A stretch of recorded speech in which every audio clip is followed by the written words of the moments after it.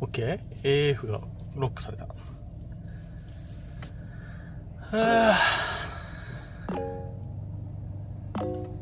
九州遠いですね。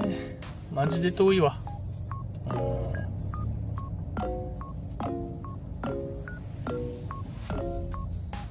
衝動で見に来たけど、まあ、マリンワールド自体は、ちょっと、こじんまりとした水族館だね。そんなに規模は大きくない。まあ、規模感っていうのは何とも言えないけど、水族館の規模感どこが大きいってもね、そんなには知らないけど、まあなんか、こじんまりとした感じの水族館で。で、まあ夜に来たからっていうのはあるかな。夜から入ったから、ほとんどの怪獣たちが寝てるという状況でございまして。これは、これは失敗だな。うん、怪獣見たけりゃ昼に来た方がいいね。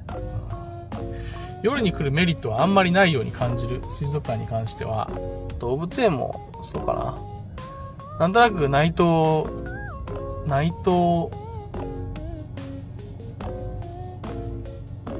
ナイトズーというかさ、そういう夜の水族館とか動物園って一度来てみたいなと思って来れてよかったんだけど、まあ、寝てるわな。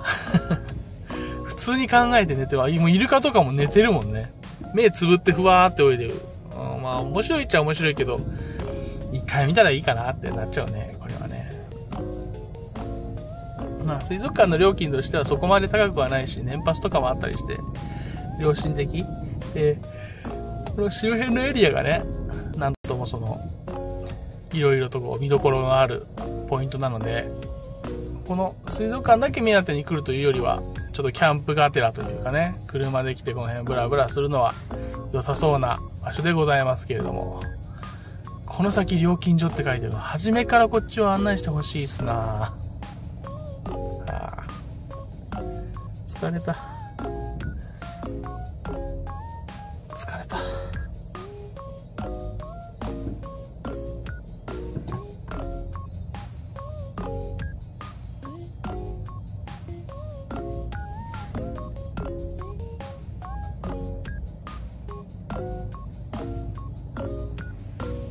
どうするかな？高速乗って帰るかな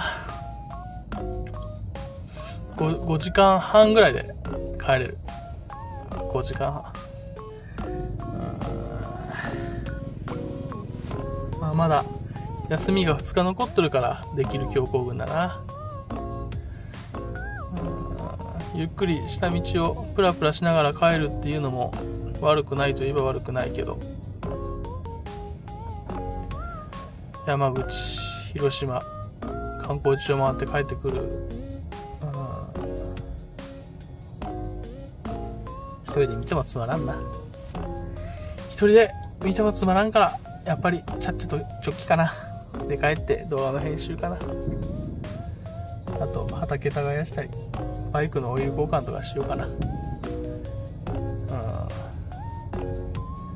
なかなか人生を持ってるようには何せんな。こうありたいというそういうものってなかなか果たせずにいることが多くて辛い。です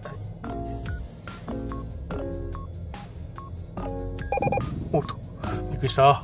何が言った。寝てるわけじゃないよ。ちょっと寝てたわけじゃないから。はいまあなんか気合入れて帰ろう。ちょっとバーッと走って気持ちは少しすっきりしたからね。やります。無事帰れるの祈っててね。ほな。